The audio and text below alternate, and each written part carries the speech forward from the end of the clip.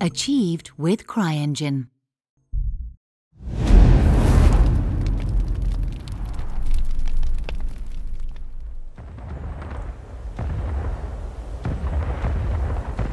Alright, ladies and gentlemen, and welcome to yet another instance of George's Corner. In this case, actually the first instance. So we are now at the Rohrbach farm here, on the map of the Fighting Over the Sunken Lane. And just behind it, you can see some of the examples of the beehives that they had behind the house during the time. Now, it was unfortunately uh, the fate of some of the Pennsylvania troops that, as they were marching through that uh, area behind the house, there happened to be a cannonball that went rampaging right through those beehives. And you can understand that there was quite a few bees that were rather uh, upset at this little turn of events. And it was very upsetting also for the uh, Pennsylvania troops, I can assure you. In any case, yet again we have Major Stone attempting to herd the cattle about, as it were, getting them uh, prepared for their attempt at the sunken lane.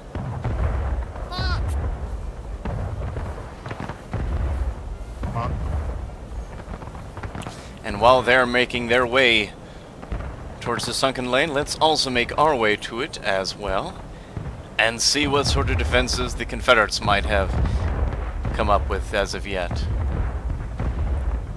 On our sunken lane map here, the Confederate forces spawn on the other side of the cornfield here, where that line of trees is. And so here they're just beginning to form their lines at the sunken lane.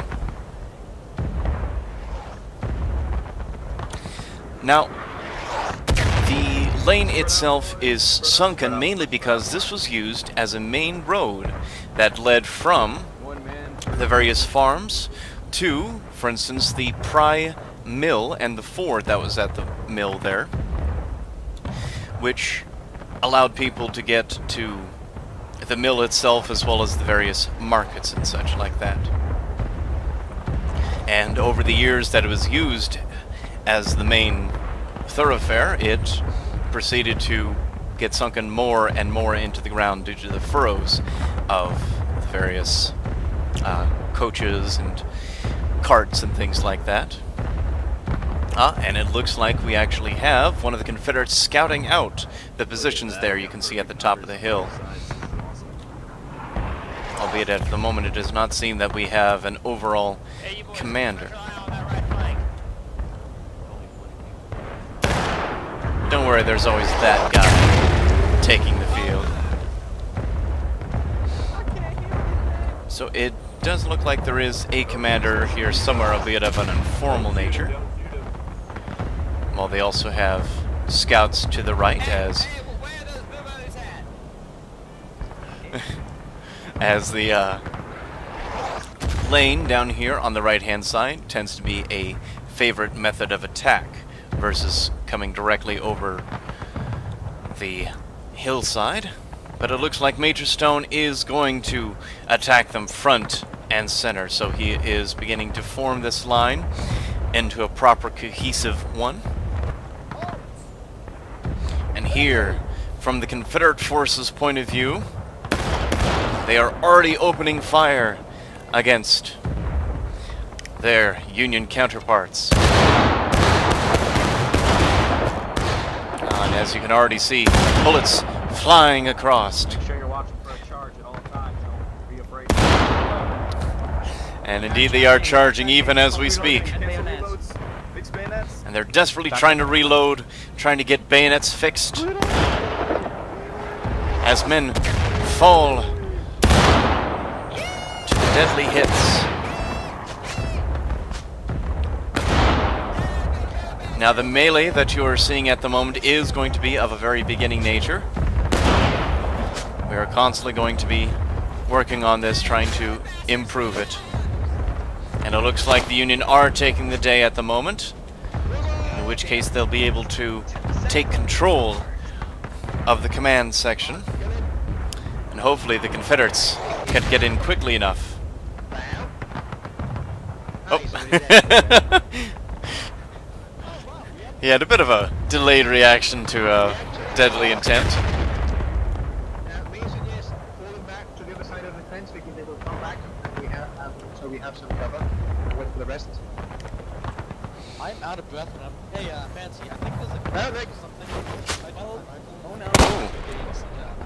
And it looks like they have a countercharge coming in, led by a, uh, a Lieutenant Colonel Boland here. And he is causing ripe mayhem in what's left of the Union lines. Oh, and he is taken down. And it looks like there's just two Union now left to take control. Oh, just one Union now. So it is up to Hatashi here of the 69th to do what he can to hold the line as Razor comes in to take him out. or make him shy away. oh, and Razor's taken down. Hatashi has held the line. What little he has been able to as reinforcements stream in from the rear.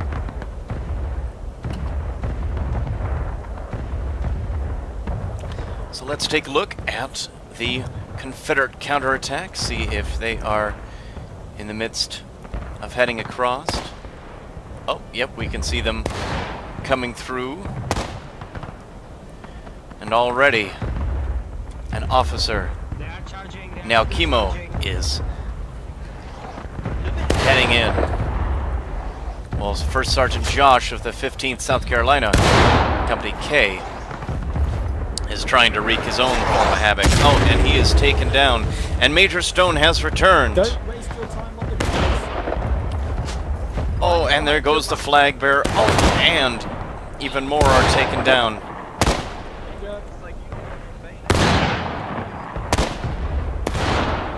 Oh, Major Stone is down as well.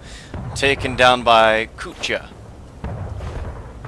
as he's desperately trying to take out First Sergeant Grishaber here.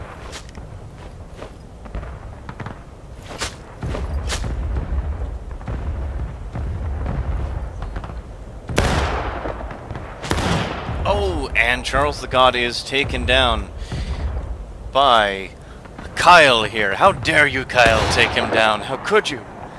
Oh, but Billy is looking to do a little lone counter sniping here. He is the only one left to hold the line. Can he? Oh no! The Confederates have retaken the line here at the sunken lane. On the fences, boys! There you go, Stel. Thank you very much, All Thomas. Let's get two files going. Two files. So what you're hearing Major Stone talk about is two files, meaning that there will be two lines rather than just the one. perfectly fine position. And that's because during the time of the Civil War, that had become the major use of Uh, Napoleonic do you want to tactics. do a fag along that sport? Just prior to the American Civil War, you had the major drill book of the time being that of Scott's drill tactics, in which case he favored three lines usually. But by the t- 1850s, uh, starting with Hardee's in 1855, he had reduced that down to just two ranks, two lines instead of the three. And that became the norm for most of the drill books in the 1860s as well. The quick time. Forwards. oh, oh, that was that was terrible. Forwards.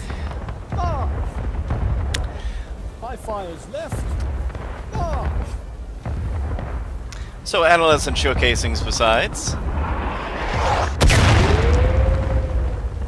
We can hear the incoming rounds from the Confederate artillery trying to take out these lines. And by the looks of it, they are trying to go ahead and flank the Confederates by going down that lane I was showcasing previously.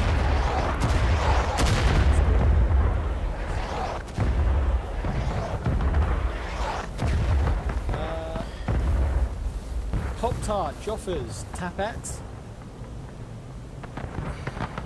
Yeah.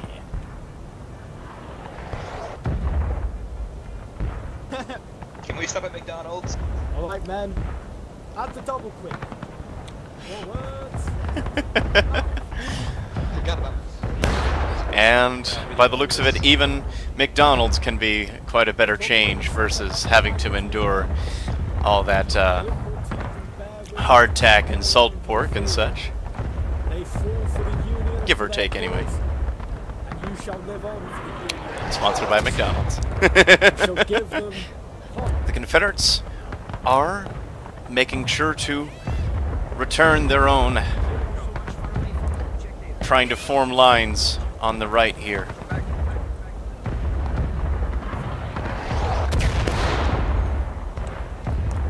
Now, this is something that happened during the battle as well, when you had some of the Union actually start flanking down the line and causing an terrible, terrible amount of casualties amongst uh, the Confederates, while at the same time, the remaining elements of French's and Anderson's division were coming across them from the front down across. I'm sorry, Richardson's division, excuse me, not Anderson.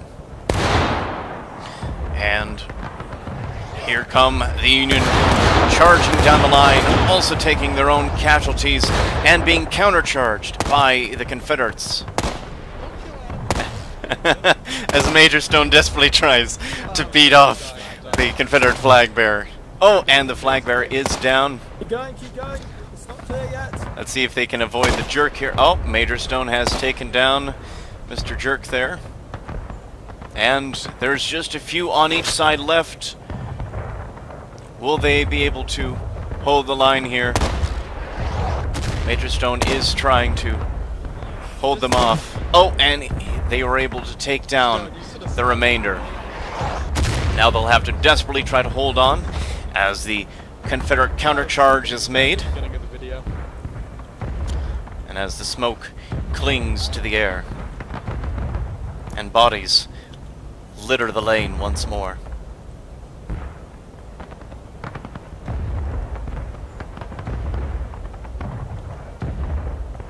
Do you think we can offer our surrender? Uh, we can try. Now, by the way, speaking of the forging that was done on the march, some of the other things that you would oftentimes see from the soldiers as they march to the front towards battle would be things like playing cards and extra clothing, things like that, that they would, uh, not so much the extra clothing, but things that they would throw to the wayside to, number one, help uh, shed some weight, and number two, especially in regards to playing cards, um, if they did fall during the battle, they didn't want such things to be found on their person and sent back to their families. Things like playing cards and things like that were right up there with porn magazines in terms of uh, kind of a bad thing to have to remember a family member by. So they would oftentimes throw dice and playing cards and whatever other illicit materials back. And it looks like the main Union body might have been scouted out. Doesn't look like General Jackson was able to conceal his own positions or take out the enemy Hey, him, scouts.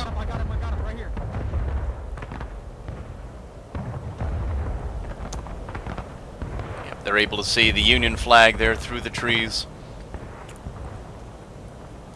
And now they're reporting those positions back. main line, but I think I just saw I, I only saw a few I saw. I saw, I saw the line. I saw the line straight east. They're Straight east? approaching the tree line.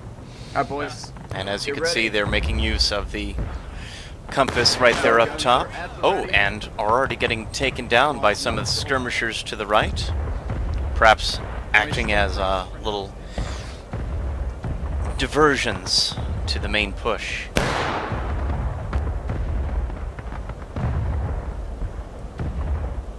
So it looks like we have terrible fighting going on here at the second lane, and once more the Confederates have remained victorious as Major Stone attempts to take out his own section. Oh, and it is a double play there as Major Stone and his attacker were both taken down. And the Sergeant Major here is perhaps apprehending this poor Union private, or just taking him out. oh, Sergeant Major scored us. No attempt at. Oh, Oh, you are an enemy. That's not nice.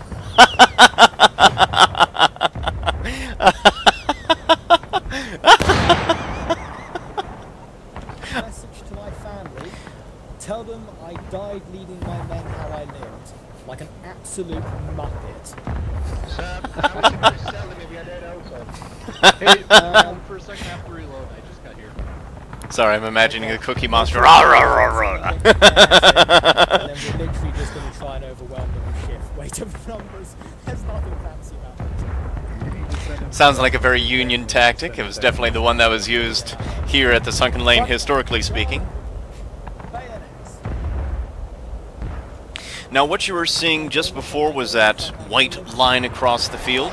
The officers have the ability by pressing Q to actually draw a line on the ground that the others can actually see.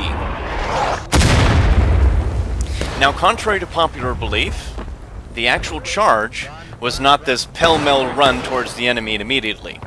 At first, when given the order to charge bayonets, charge, the men would advance at quick time at the enemy, still in a cohesive rank, where the rear rank would be at right shoulder shift, and the front rank would have the uh, their bayonets pointed towards the enemy. Already they have taken significant casualties in this fight Frost, and it becomes a crazy melee across the field here.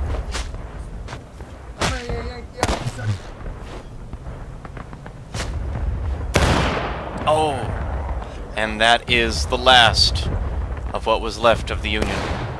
But the Confederates are now down to just 27 tickets. So it remains to the remaining Union lines to try and finish off the last few. But just one and a half minute left. Will the Union be able to take them down?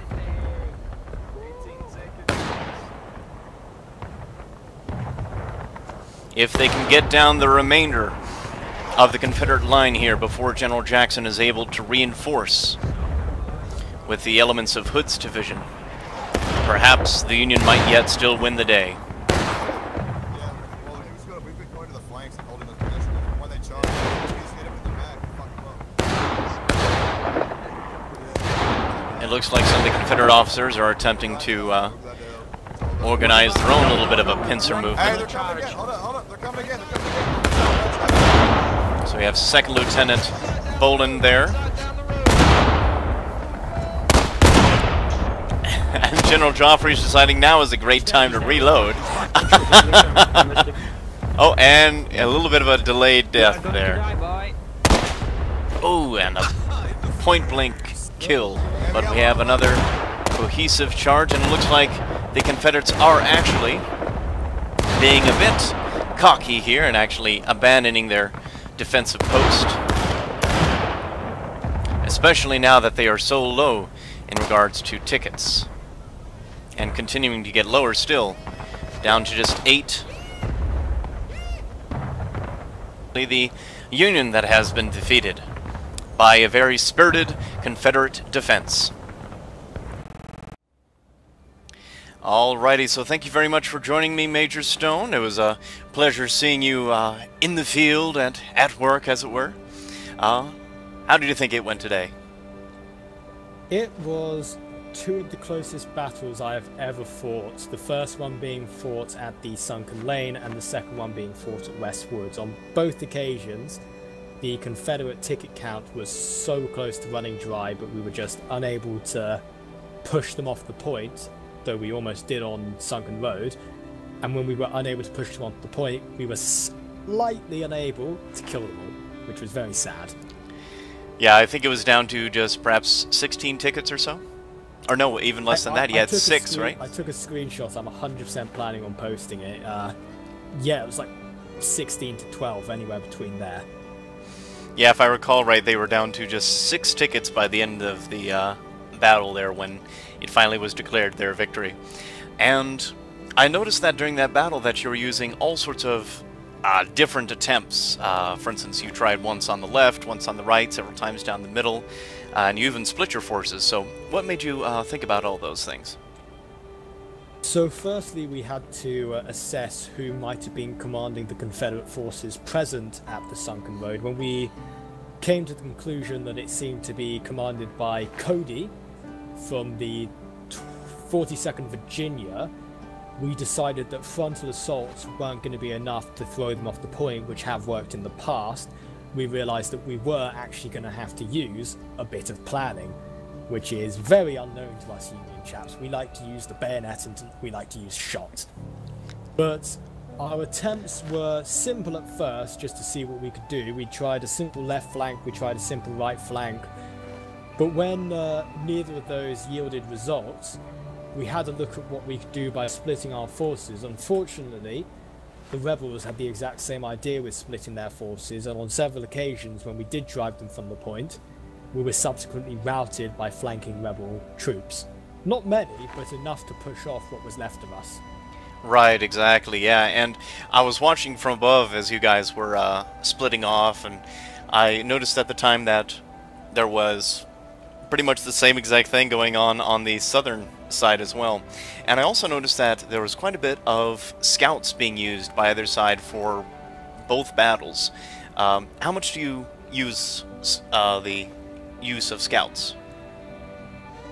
Whilst we've attempted the use of scouts before, the size of the map we found that whilst we'd love to go out scouting and finding the enemy, for the most part, we know where they are, and if we are sending out scouts, all we're going to find out is, oh, they're on the left, let's go right.